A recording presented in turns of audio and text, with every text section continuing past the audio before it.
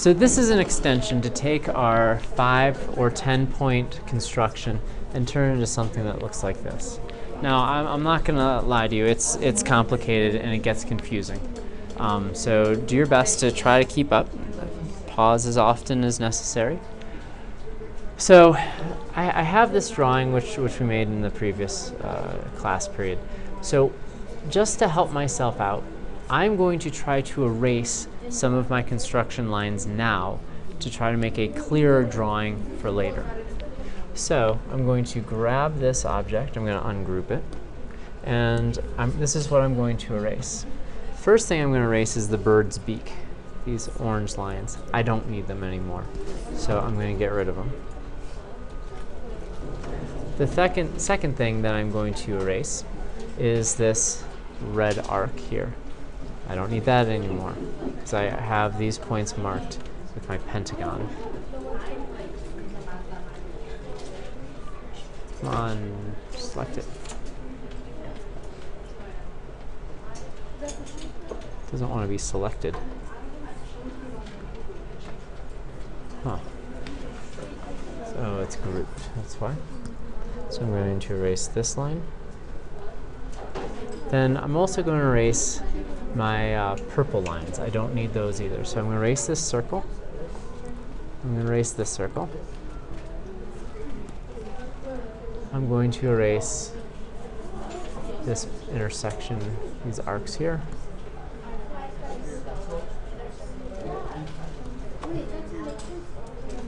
That line. Can erase that line. Well, I don't want to erase that one. I want to erase this arc, rather. So, uh, grouped. So I'm to erase this arc. Erase this arc. Okay. And finally, I'm going to erase these blue lines here. I Don't need them.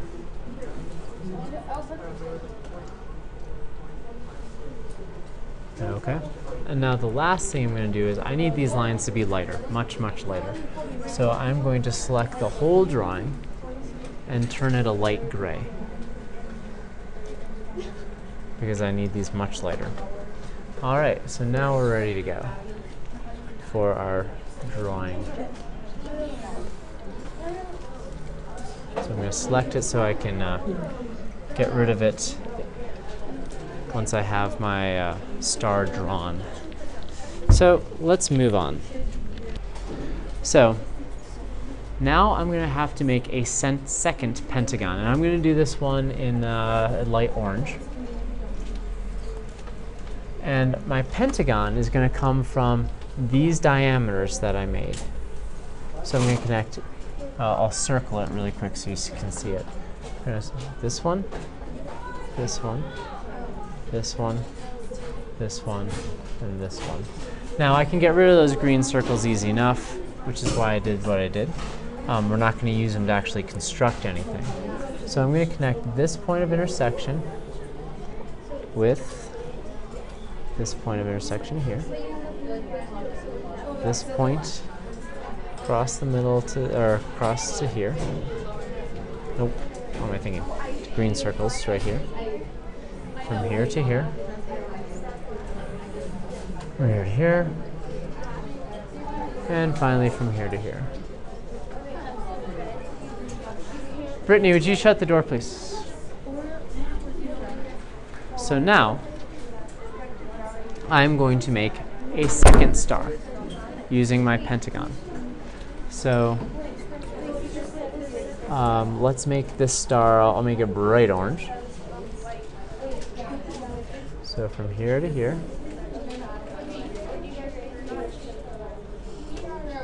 From here to here.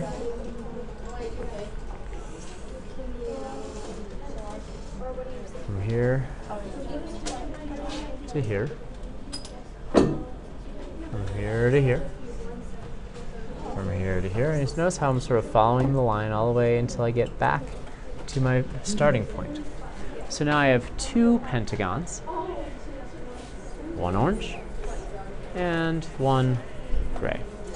Now I'm going to use a, a darker, well, um, I, I'm going to go ahead and make my other pentagon pop out a little bit more. And for me to do that, I'm going to have to, well, I'm going to make some more construction lines first so I, it'll make it better in the end. So the next set of construction lines I'll, I'll do in a light purple. Uh, what I'm going to do is I'm going to connect points from my orange pentagon to my gray pentagon.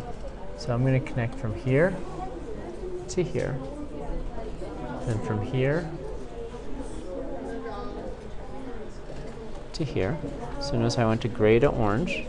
Now from orange to gray, from gray to orange, from orange to gray, from gray to orange, from orange to gray,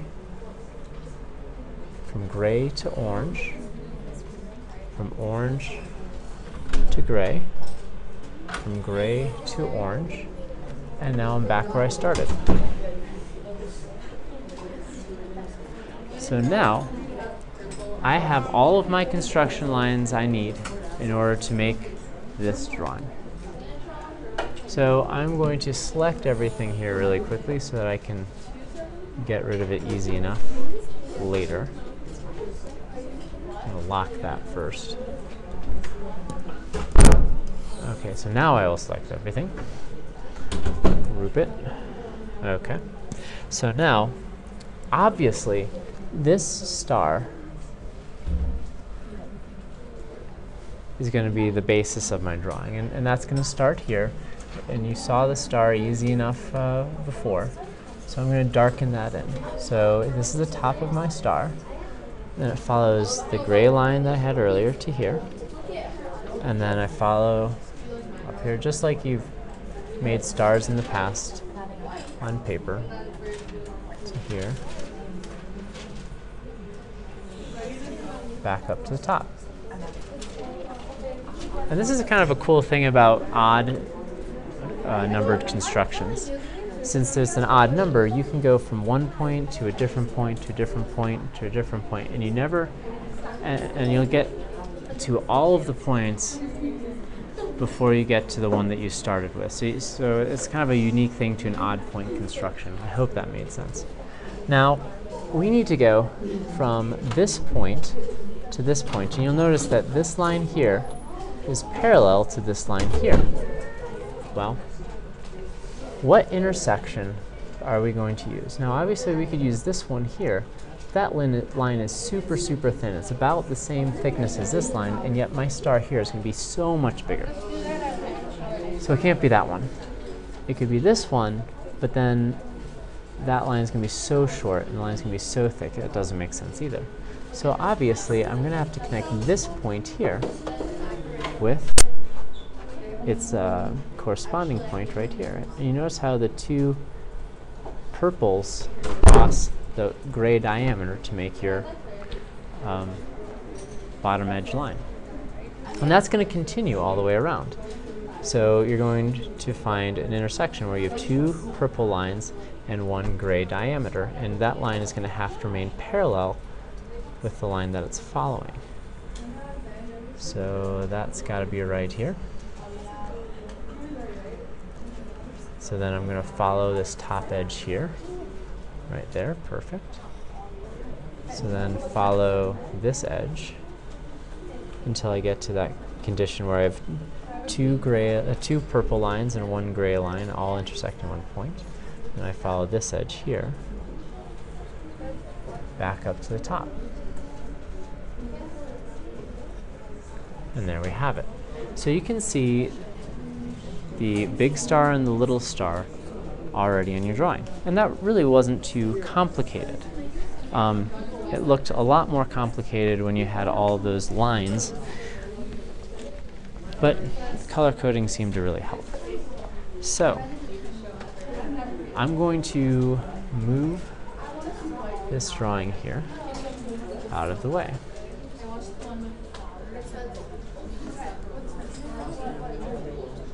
so I can grab it later if I need it. So now I have my star. Now it's about finding the illusion of passing under and over. So I'm going to connect. So I'm going to go under this line here. So I'm going to redraw that one. I'm going to actually start over again. I'm going to group this template. So I'll make it a different color. I like this color an awful lot, so let's use this sort of burgundy, so it stops there. This line stops here because it goes under this line here. Then it picks up, goes on top of this line here to there. Same thing here. And then you follow along. So it goes under first, under first, over second, over second, under first, under first, over second, over second, under first, under first, over second, over second. Oops. I said over second, I didn't start right here. And for the final line, under first, under first, over second, over second. And now I will move this shape, my template. And now I have my star, and it appears as though it is we- uh, weaved inside of itself. And there I have it.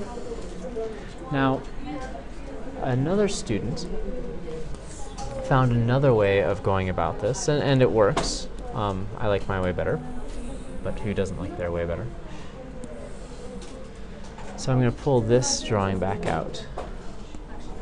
So what another student did was, instead of finding these intersections here that I did in purple, what he did was he found the perpendicular bisector. So what he did was he, he took his original drawing, he made his star. I'm going to do this very, very quickly. So he made his star.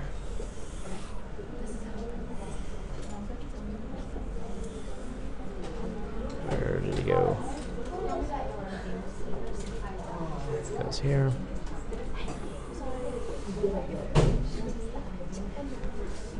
So he made a star there. And then what he did was, actually, have to redo that. Hold on a second.